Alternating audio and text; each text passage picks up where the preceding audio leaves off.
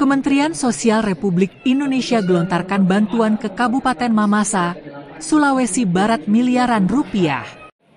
Bantuan tersebut diserahkan secara simbolis oleh Dirjen Rehabilitas Sosial, Supomo dan diterima oleh PJ Bupati Mamasa Dr. Zain di Aula GTM Jalan Buntu Buddha, Kecamatan Mamasa, Kabupaten Mamasa, Selasa, 24 September 2024.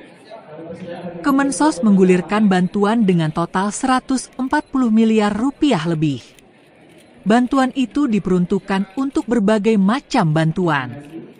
Di antaranya bantuan asistensi rehabilitas sosial, penyerahan alat bantu disabilitas sebanyak 133 unit, bantuan pemberdayaan ekonomi, bantuan bagi komunitas adat terpencil, bantuan rumah sejahtera terpadu dan air bersih, kegiatan kesiapsiagaan dan mitigasi bencana, operasi katarak, bebas pasung, sosialisasi kesehatan jiwa, serta layanan fisioterapi. Dirjen Rehabilitas Sosial Supumo mengatakan, bantuan tersebut terbagi beberapa bagian. Rincian bantuan atensi yang diserahkan berupa bantuan sembako, perlengkapan kamar, perlengkapan dapur dan perlengkapan sekolah sejumlah 3.922 paket. Sementara bantuan pemberdayaan ekonomi yang diserahkan berupa bantuan ternak ayam kampung di Dusun Rantekatoan, bantuan budidaya ikan di Dusun Mongi, bantuan mesin jahit dan perlengkapan untuk kelompok tenun di Kecamatan Bala, serta bantuan perlengkapan olahraga untuk pemuda dan sekolah. Adapun untuk kegiatan kesiapsiagaan dan mitigasi bencana, Kemensos membentuk kampung siaga bencana di Kecamatan Bambang dan Kecamatan Nosu. Tagana masuk sekolah juga dilaksanakan di 15 sekolah.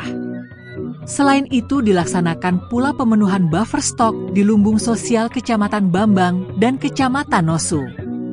Bantuan komunitas ada terpencil diberikan berupa bantuan isian rumah dan sembako, nutrisi serta bantuan usaha bibit ternak babi diberikan kepada 66 kakak. Ada juga dua unit RST yaitu di Kecamatan Tanduk Kalua dan di Kecamatan Mamasa, serta satu unit instalasi air bersih di Desa Osango. Dari 408 data yang terjaring, 256 orang mengikuti screening kesehatan bagi calon pasien operasi katarak yang dilakukan pada tanggal 15, 16, dan 23 September 2024. Dari jumlah tersebut, Sebanyak 146 calon pasien dinyatakan lolos screening dan mengikuti operasi katarak gratis di RSUD Kondo Sapata, Kecamatan Mamasa pada tanggal 23 hingga 24 September 2024. Download Tribun X sekarang, menghadirkan lokal menjadi Indonesia.